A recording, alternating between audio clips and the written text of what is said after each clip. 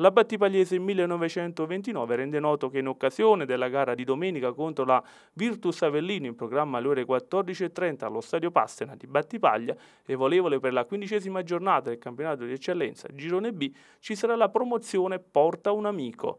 Con un tagliando d'ingresso, infatti, al costo di 5 euro potranno entrare due persone, di cui una in modo assolutamente gratuito. L'iniziativa nasce dalla volontà della società bianconera di riempire le gradinate dello stadio Pastena e spingere la Battipagliese nella sua ultima gara casalinga della stagione.